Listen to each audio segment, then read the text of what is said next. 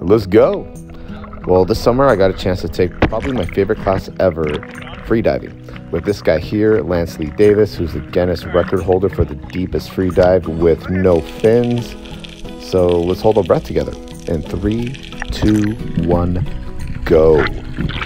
We're at Neptune's Arch in Palos Verdes, California, at approximately 50 feet of depth. Of course, on the way in, I get some seaweed caught on my ankle, which is always fun in a free dive. But this was day three, and it was really the first two days of learning about the mammalian dive reflex and getting to two and a half minutes with a static breathe hold, thanks to Lance and my meditative state he put me in. Uh, really learning about the mental game of free diving.